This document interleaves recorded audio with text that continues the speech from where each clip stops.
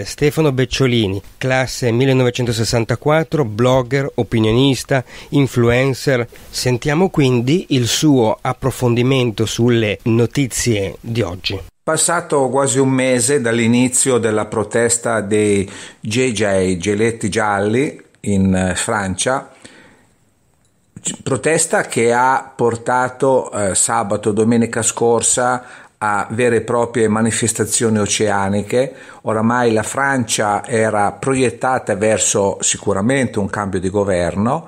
Ci sono state manifestazioni non solo a Parigi, ma in tutte le grandi città e piccoli centri. Eh, si dice che la Francia abbia perso moltissimo in termini economici. E I gilet gialli protestano e protestavano eh, non solo per l'aumento eh, dei carburanti, anzi per l'esattezza la tassa sui eh, carburanti verdi, diciamo, ecologici, ma e soprattutto sulla povertà che oramai da anni in Francia, come in Italia, come in altre parti dell'Europa, tranne forse che la ricca Germania, eh, si sta estendendo a macchia da leopardo.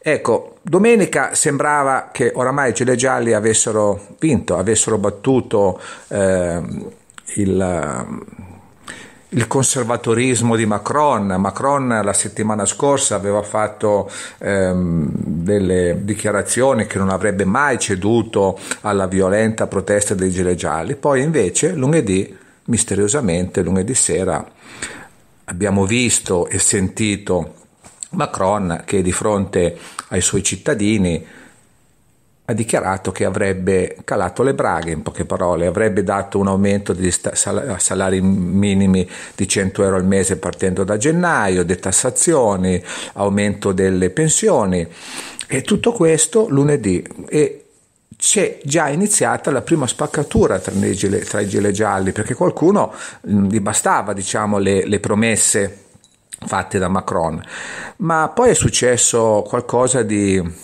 per alcuni prevedibile, per altri come me imprevedibile.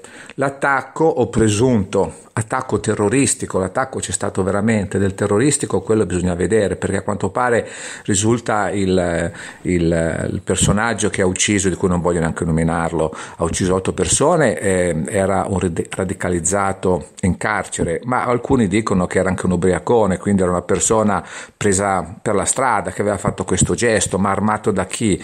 Non certo dai jihadisti, credo, probabilmente armato dalla sua pazzia o da qualche altra mano. Fatto sta che martedì sera eh, le carte si sono capovolte.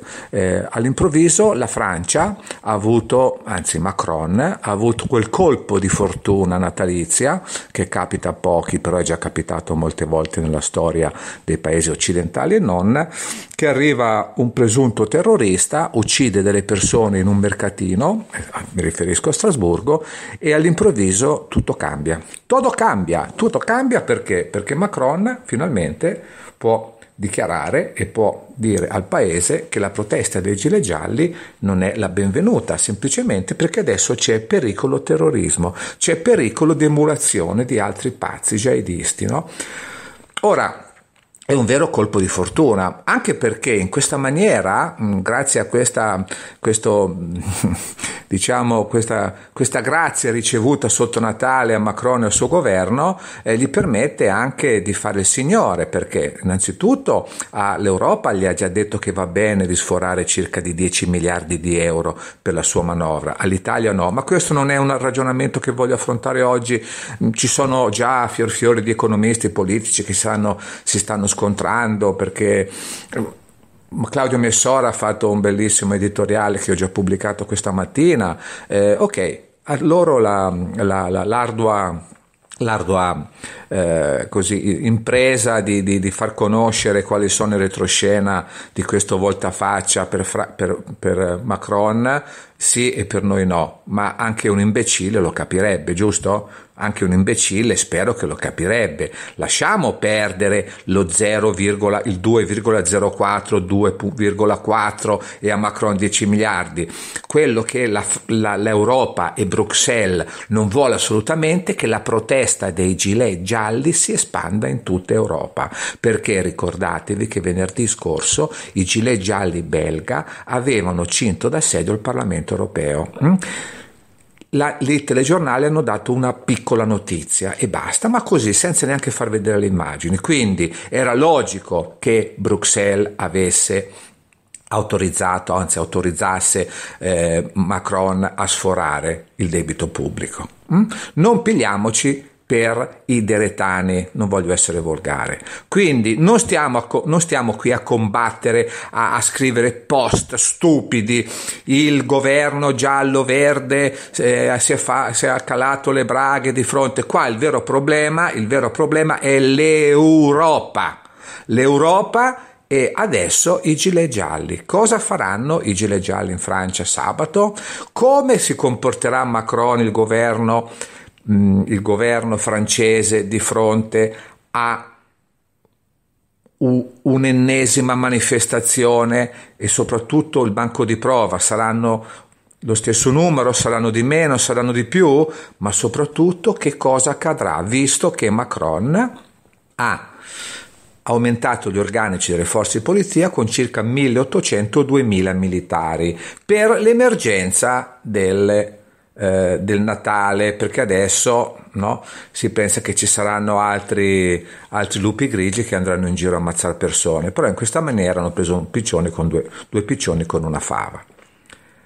E non dimentichiamoci anche una cosa molto importante, quello che è successo in Francia, non solo gli scontri, ma le vere e proprie violenze e la vera repressione che il governo francese ha attuato verso il suo popolo.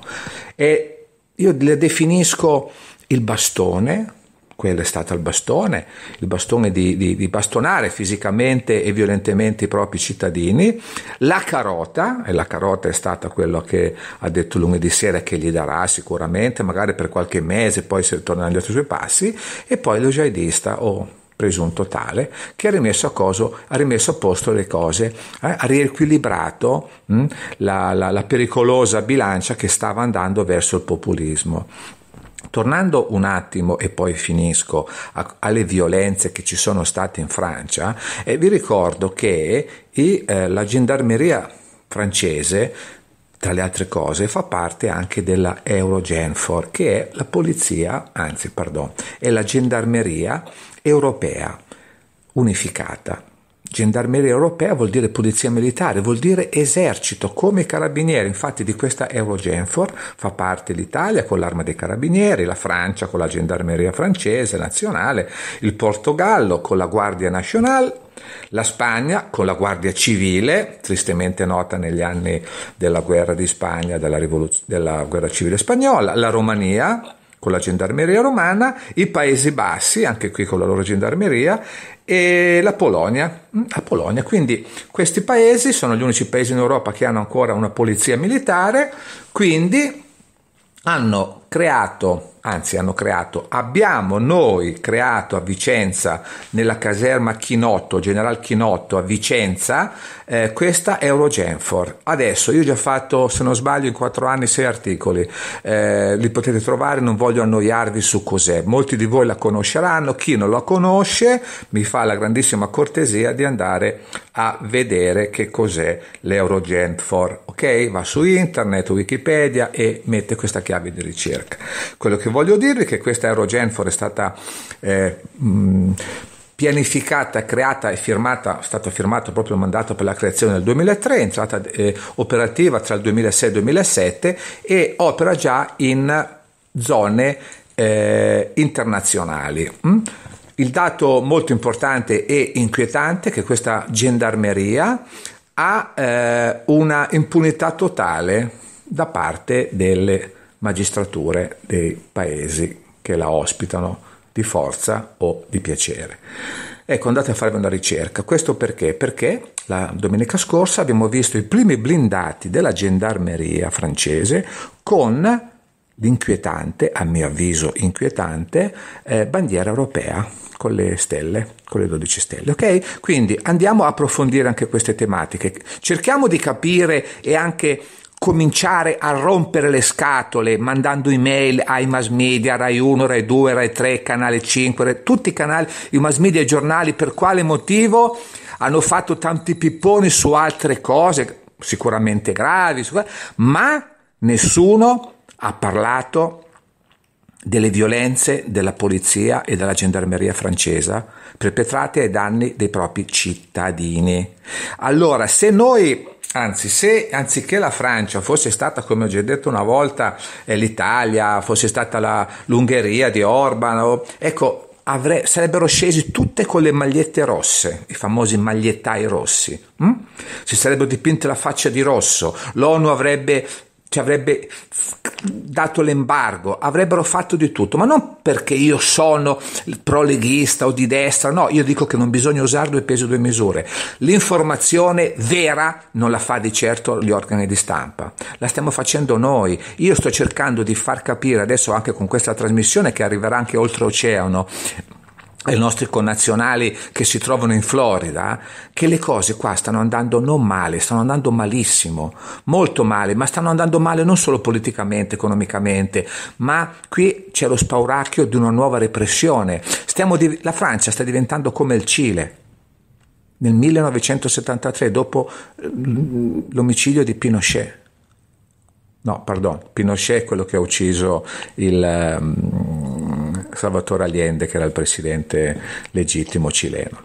Un piccolo lapsus. Quindi Ora, io mi auguro che molti di voi approfondiranno queste tematiche che io eh, ho brevemente descritto in questi minuti, e, ma soprattutto che si farà pressione verso i mass media affinché alcune cose che fanno scomodo all'Europa vengano dette. Questo governo del cambiamento, la RAI ha cambiato i vertici, FOA, fai qualcosa, noi dobbiamo sapere, non potete dare l'incombenza alla rete di fare informazione, voi siete pagati, noi lo facciamo gratis. Va bene, allora questo approfondimento per oggi è finito, il prossimo vediamo quando sarà, sicuramente domani qualcosa dovrà essere detto, scritto o perlomeno massimo domenica sulla protesta, su quello che accadrà in Francia e mi auguro di non dover fare approfondimenti di fatti di cronaca molto peggiori di quelli che sono accaduti questa settimana. Grazie a tutti e buon weekend.